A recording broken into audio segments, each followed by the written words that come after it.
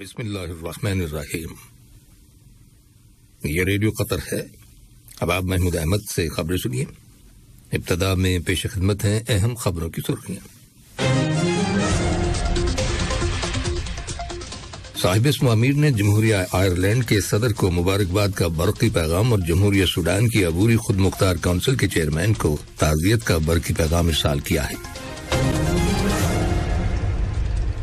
Qatar ने Yemen के अंदर इंसानी बहरान के खात्मे और यमन के शहरियों को उनकी मुश्किल पर काबू पाने के लिए मुकम्मल और मुसलसल मदद फराम करने के अपने आज़म का इरादा किया है। वजारत सेहत की रिपोर्ट के मुताबिक, मुल्क के अंदर गुजशत 24 घंटों के दौरान कोरोना वायरस के मजीद एक सौ तैंतालीस मरीज़ सेहताब जाने के बाद इस वबाई बीमारी से शिफा पाने वाले मरीजों की तादाद अब तीन लाख सत्तावन हज़ार आठ सौ अट्ठावन हो गई है। और बैन अवी अदालत अदालत इंसाफ ने रूस को हुक्म दिया है कि वो यूक्रेन में अपनी फौजी कार्रवाइयाँ मुअत्तल कर दे, जिनका आगाज़ 24 फरवरी को हुआ था। ये थी अहम खबरों की सुर्खियाँ। और अब से चंद लम्हों बाद तफसील से खबरें नशर की जाएँगी।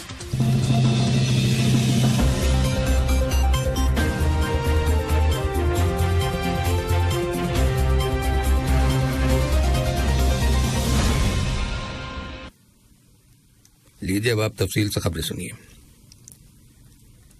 साहिब अमीर शेख तमीम बिन हमद आलतानी ने कल जमहूरिया आयरलैंड के सदर माइकल डैनियल हिगन्स को उनके मुल्क के कौमी दिन के मौके पर मुबारकबाद का बरकी पैगाम इरसाल किया। नायब अमीर शेख अब्दुल्ला बिन हमद आलतानी ने भी इस मौके की मुनासबत से जमहूरिया आयरलैंड के सदर के नाम मुबारकबाद का बरकी पैगाम रवाना किया। इसी तरह वज़ीर आज़म और वज़ीर दाखिला शेख खालिद बिन खलीफा बिन अब्दुल अज़ीज़ आलतानी ने जमहूरिया आयरलैंड के वज़ीर आज़म माइकल मार्टन को उनके मुल्क के कौमी दिन के मौके पर मुबारकबाद का बरकी पैगाम इरसाल किया है। साहिब अमीर शेख तमीम बिन हमद आलतानी ने जमहूरिया सूडान की अबूरी खुद मुख्तार काउंसिल के chairman lieutenant general Abdel Fattah al Burhan को जनूबी सूडान के कुर्दुफान इलाके में सोने की कान के गिरने से होने वाली हलाकतों पर ताजियत का बरकी पैगाम इसाल किया है। नायब अमीर शेख अब्दुल्ला बिन हमद आलतानी और वज़ीर आज़म और वज़ीर दाखिला शेख खालिद बिन खलीफा बिन अब्दुल अज़ीज़ आलतानी ने भी इस मौके पर chairman, lieutenant general Abdul Fattah al Burhan के नाम ताजियत के बरकी पैगाम रवाना किए हैं। इस हादसे में बारह कानकन हलाक और दीगर कई जख्मी हो गए थे। नायब वज़ीर आज़म और वज़ीर खारजा शेख मोहम्मद बिन अब्दुलरहमान आलतानी ने कल न्यूयॉर्क में अकवा मुतहदा की कम तरक्की याफ्ता मवाली की पांचवी conference L D C five के पहले हिस्से के अफ्ताही इजलास की सदारत की। इस मौके पर तकरीर करते हुए उन्होंने कतर को एल डी सी फाइव का सदर मुंतब करने पर शुक्रिया अदा करते हुए कहा। कि कतर की हुकूमत अगले साल पाँच से नौ मार्च तक दोहा में कॉन्फ्रेंस के दूसरे हिस्से के इजलास की मेजबानी की मुंतजर है। उन्होंने कहा, उन्होंने कॉन्फ्रेंस के शुरा को साहिब इसम अमीर शेख तमीम बिन हमद अल्तानी की जानब से मुबारकबाद पेश की और कॉन्फ्रेंस की कामयाबी के लिए नेक तमन्नाओं का इजहार किया। नायब वज़ीर अजम और वज़ीर ममलकत बरए दिफाई अमूर doctor Khalid bin Mohammed Al Attiyah ने कल स्कॉपजी में जमहूरिया शुमाली मकदूनिया के सदर स्टीवो हिंड्रोवस्की और वज़ीर आज़म दमित्रो क्रोवस्की के साथ अलग अलग मुलाकात की। इन मुलाकातों के दौरान दोनों मुल्कों के दरमियान फौजी ताल्लुक और इन्हें फरोग देने के वसाइल का जायजा लिया गया और मुश्तर दिलचस्पी के अमूर पर तबादला ख्याल किया गया।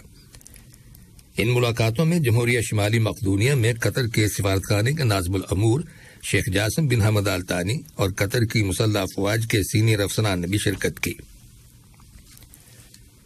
नॉकशॉट में कतर के सिफारतखाने के कायम मुकाम नाजमुल अमूर फहद सालिम अल दोसरी ने कल मौरितानिया के खारजा अमूर और बैरून मुल्क मौरितानिया के शहरियों के मामला के वज़ीर इस्माइल वल्द शेख अहमद के साथ मुलाकात की, जिसमें दोनों मुल्कों के ताल्लुक और बाहमी दिलचस्पी के मुताद मामला के बारे में तबादला ख्याल किया गया। कतर ने यमन के अंदर इंसानी बहरान के खात्मे और यमन के शहरियों को उनकी मुश्किल पर काबू पाने के लिए मुकम्मल और मुसलसल मदद फराहम करने के अपने अज़म का अदा किया है और उन तमाम बैन अवी कोशिशों की हिमायत का ऐलान किया है, जिनका मकसद मुजाकर के ज़रिए बहरान को हल करना और पायदार अमन और तरक्की हासिल करना है। इन ख्याल का इजहार जिनीवा में अकवा मुतहदा में कतर की नायब वज़ीर खारजा लुलवा बिन राशिद अल खातिर ने आला सतही वर्चुअल इजलास के दौरान किया, जो इंसानी बहरान पर काबू पाने की गरज से अतियात जमा करने की गरज से बुलाया गया था। अपने बयान में उन्होंने कहा कि Qatar fund, Qatar development fund अकवा मुतहदा के बच्चों के फंड यूनिसेफ के साथ मिलकर यमन के अंदर वाटर और सैनिटेशन के शोबे की मदद के लिए काम कर रहा है। जिसके नतीजे में मुल्क के अंदर पानी के नेटवर्क की बहाली हेल्दी ड्रिंकिंग वाटर की फराहमी और आलूदा पानी की वजह से फैलने वाली बीमारियों पर काबू पाने में मदद मिलेगी।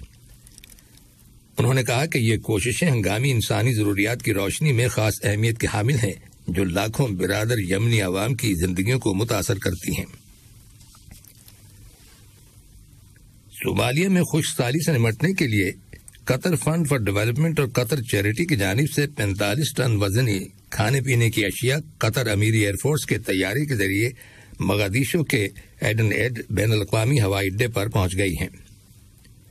इस इमदादी सामान की डिलीवरी के मौके पर सोमालिया के ट्रांसपोर्ट और शहरी हवाबाजी के वज़ीर दौरान अहमद तर्रा मुताद सरकारी अफसरान और मगादीशु में कतर के सफीर हसन बिन हमजा हाशिम के अलावा कतर फंड फॉर डेवलपमेंट और कतर चैरिटी के अफसरान पर मुश्तमिल वक्त के मेम्बरान मौजूद थे। इस मौके पर तकरीर करते हुए सोमालिया के ट्रांसपोर्ट और शहरी हवाबाजी के वज़ीर ने सोमालिया की हुकूमत और आवाम की मुसलसल हिमायत और इमदाद के लिए कतर की हुकूमत और आवाम का शुक्रिया अदा किया और कहा कि सोमालिया के आवाम इस इमदाद को कभी फरामोश नहीं करेंगे। जब मुल्क बदतरीन इंसानी हालात से गुजर रहा है उन्होंने सोमालिया में कतर के सिफारत खाने का भी शुक्रिया अदा किया, जिसने मजकूरा इमदाद की तरसील में नुमाया सहूलत फराम की है। कतर की इंसानी स्मगलिंग से निमटने के लिए कायम की गई कौमी कमेटी और मनशियात और जराइम की रोकथाम के लिए अकवा मुतहदा के दफ्तर U N O D C ने इंसानी स्मगलिंग की रोकथाम से मुतालिक ट्रेनिंग और रिसर्च के लिए दोहा में बैन अवी मरकज कायम करने के माहे पर दस्तखत किए हैं। इस माहे पर वज़ीर मेहनत और इंसानी स्मगलिंग से निपटने के लिए कौमी कमेटी के chairman doctor Ali bin Sumaikh Al Marri और वियाना में कायम U N O D C की एग्जीक्यूटिव डायरेक्टर गादा वाली ने दस्तखत किए। ये मरकज एक डेटा बेस और मालूम की तैयारी पर काम करेगा, जिसमें इंसानी स्मगलिंग की रोकथाम से मुतालिक कानून साजी खिलाफ वर्जियों को मॉनिटर करने का अमल और इस फ़ील्ड में बैन अवी रिपोर्ट्स सबमिट करना और उन्हें शाये करना शामिल है। जिससे मुख्त ममालिक के अंदर अकवा मुतहदा के मैकनिज्म और स्टैंडर्ड्स को फाल करने में मदद मिलेगी। ये खबरें रेडियो कतर से नशर की जा रही हैं।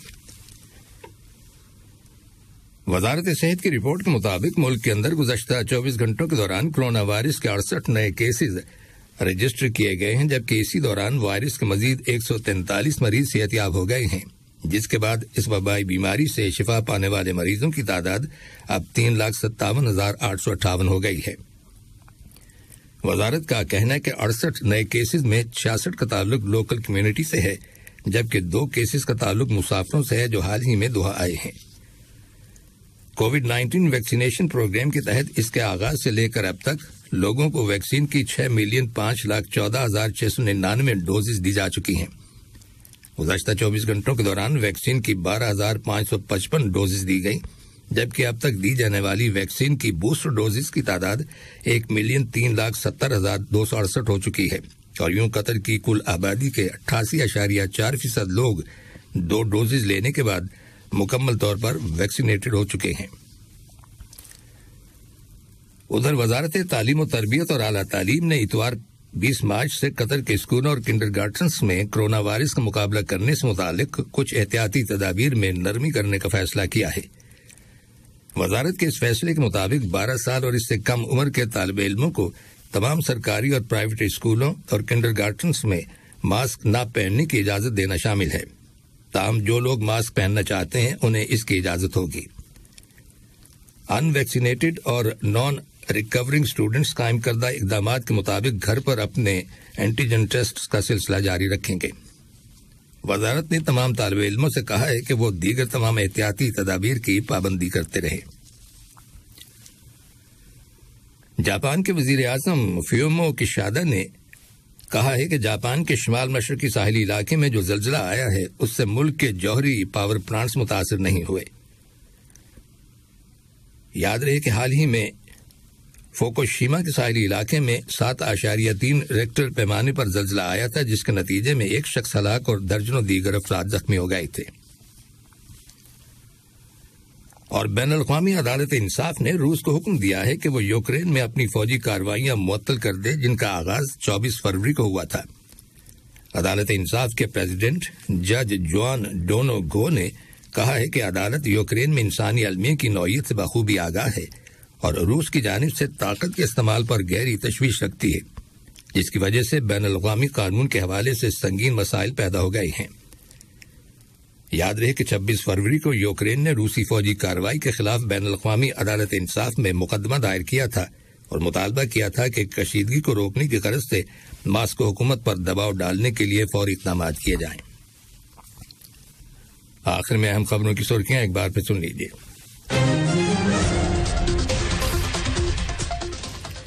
साहिब महावीर ने जमहूरिया आयरलैंड के सदर को मुबारकबाद का बरकी पैगाम और जमहूरिया सूडान की अबूरी खुद मुख्तार काउंसिल के चेयरमैन को ताजियत का बरकी पैगाम इसाल किया है। कतर ने यमन के अंदर इंसानी बहरान के खात्मे और यमन के शहरियों को उनकी मुश्किल पर काबू पाने के लिए मुकम्मल और मुसलसल मदद फराम करने के अपने अज़म का इरादा किया है। वजारत सेहत की रिपोर्ट के मुताबिक, मुल्क के अंदर गुजशत चौबीस घंटों के दौरान कोरोना वायरस के मजीद एक सौ तैंतालीस मरीज़ सेहतियाब हो जाने के बाद इस वबाई बीमारी से शिफा पाने वाले मरीजों की तादाद अब तीन लाख सत्तावन हज़ार आठ सौ अट्ठावन हो गई है। और बैन अवी अदालत इंसाफ ने रूस को हुक्म दिया है कि वो यूक्रेन में अपनी फौजी कार्रवाइयाँ मुअत्तल कर दे, जिनका आगाज़ 24 फरवरी को हुआ था। रेडियो कतर से खबरों का आज का पहला बुलेटिन खत्म हुआ।